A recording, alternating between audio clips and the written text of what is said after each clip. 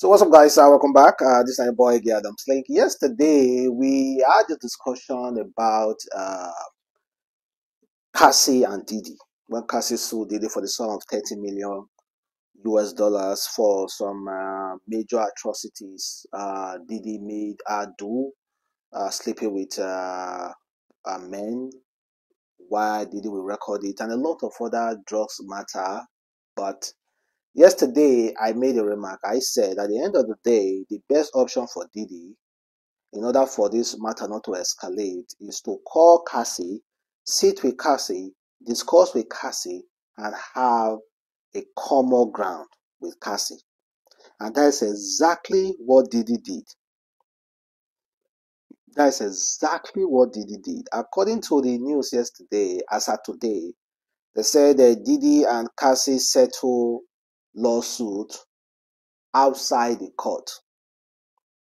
So according to the statement, they said, according to the statement from Cassie, she said, I have decided to resolve this matter amicably on terms that I have some level of control.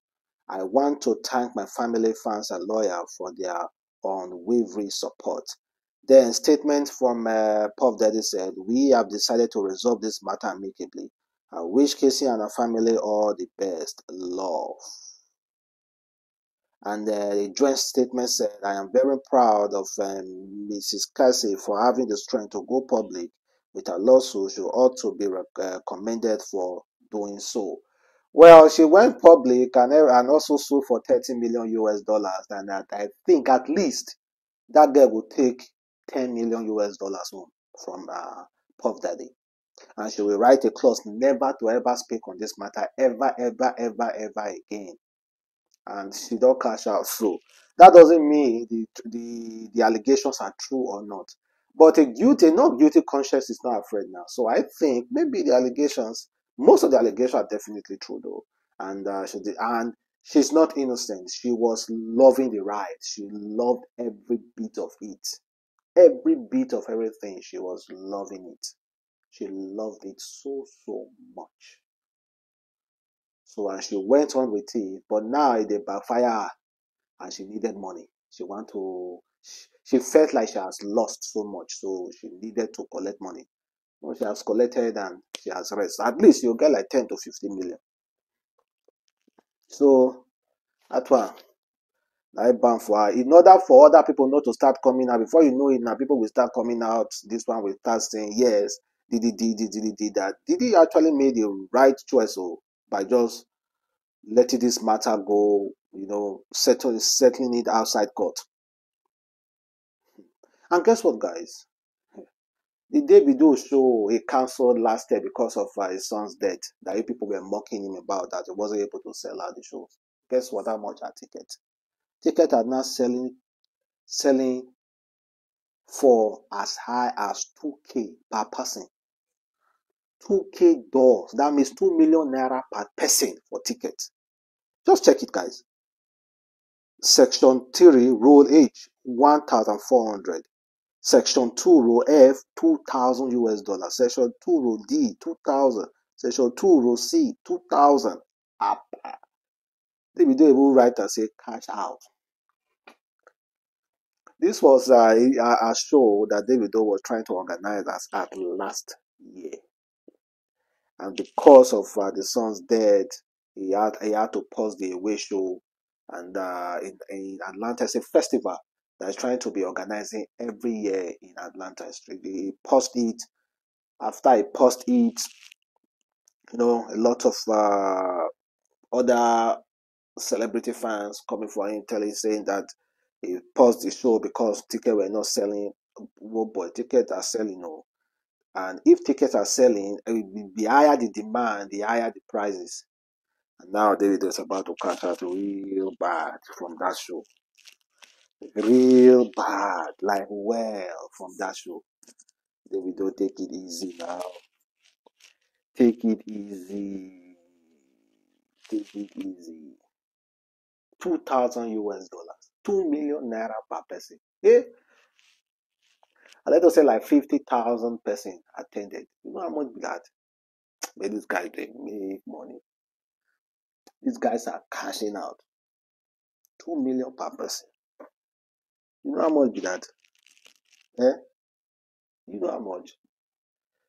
Well, speaking about money, speaking about money, guys, let's uh, check out what Mikel. Mikel was uh, interviewed recently, and he talked about our family as who making money as a Nigerian in some African country, making money as an individual. The money is not only for you.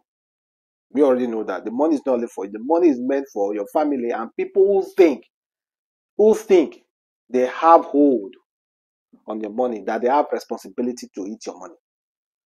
You get threatened by your own blood, your own. Do you know what we're going to do? Sisters. Me and you are going to do a documentary about this. When you come from Africa, and this is something I don't think we speak a lot about, when you make money, Hmm. It's not your money. You have all these relatives, cousins, whatever you call it. Who you didn't know. Yeah. Mm. You know, and your sisters, they go off and they get married to some guy, you know, who just wants to get married to, in, to John Obi Mikel's family because mm. then my life is sorted. Mm. And then you start looking after this guy. Before you know it, you're looking at them. Where, where, where is it? You're on less than them. Mm. Exactly. they keep having so many kids and so many kids, and you're looking at okay, you're having this much kids. Who's going to look after them? Hmm. It's you. The It's culture, that they expected you Yeah, to do that. For them, you owe them that. So you sometimes you have to be strong and say, you know what, guys, enough is enough. I don't care. They give you this thing whereby if you don't do it, we're gonna go to the press. Oh Wow. Man, What did you have that conversation? Yeah, yeah, yeah. What? After all I've done for you guys, but this happens a lot To all the play, a lot of the players in, in your in. Africa. I'm telling you, not everybody comes out and speak about it because we're thinking, how are we going to talk about this? It's the truth. And uh, if you check the comments under this post, you say how some other Nigerians are blasting Mikel Obi. Go and hustle. Leave your brother money alone. Also, if your brother gives you, Alhamdulillah, they are good family like that. Very, very good family.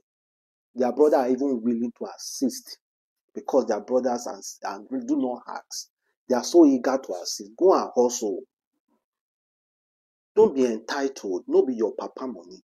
Go and hustle. I'm talking to you, you, you, you that is watching now, that is about to feel entitled to your brothers. No be your money. Go and hustle. It is not your money. Go hustle, guy. Woman, go and hustle. Someone has worked all his life or her life, and the next thing you just want to sit down, get married, have kids, and expect another your sister, your brother to take care of your kids. In as much as it's good to give, in as much as it's good to take care of uh, your siblings, if you have money, same thing goes again. God also said it's a sin to be a beggar. You don't, don't you guys see that part? Always beg, beg, beg. It's a sin. It becomes sinful. It's a sin. God may talk am like that. You think say he no reason am because he knows say a lot of human beings, human beings are desperately wicked. Desperately wicked to the point that they will feel entitled to someone else's money. Money may not be your own. You don't know how to take come. You don't know the hustle. You don't know the grinding. You just want to feel entitled to it. Hmm? You want to feel entitled to it. Hmm? Huh? if you say how people blast Mikel Obi for this talk, eh, the truth be that you will sit at home and be expecting someone to work his, his or her ass off simply because you guys are blood. And because of that, you want to start telling. And they will say, okay, set your brother up, set your sister up. Of course, they do set them up for life. Give them money to start a business. They squander the business, hoping to go back to your to, to that guy as well. Guy, if that may be them, eh, couple you don't get again, and I'll cut you off. The way I will block you, eh, you know if you reach me again, you know we will near my house again. You are not longer my brother. What the hell? But there are some brothers that are really, really trying. All those my head then.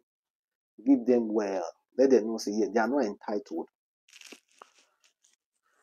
Help them.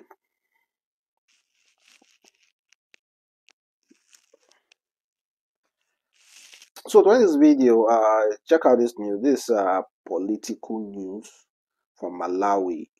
They say Malawi President Lazarus has suspended foreign trip for himself and cabinet member. He has also reduced fuel allowances of senior government officials by 50% due to inflation. He planned to increase the salary of civil servants to ease the cost of living. Why is it that whenever we, the federal government, want to learn any form of, uh, they want to learn from any other country, we also we we, we always learn from them by increasing tax, uh, adding tax tax to things, increasing it, increasing it, increasing tax, increasing school fees, increasing this, but we never learn all those kind of stuff. Is it that our federal government know they see this kind of uh, development from other countries? to see the sacrifices that uh, government workers, to see the sacrifices that politicians are making on behalf of uh, the citizens. Is it that it's only citizens that will always make sacrifices on behalf of the uh, of the government? Why they not they see all those kind things? Have you ever said that? Why is it that the citizens are the only are the one always making sacrifices, sacrifices, sacrifices for them? Not they making sacrifices for us. May they go look this kind of news now. I mean, they know they see out.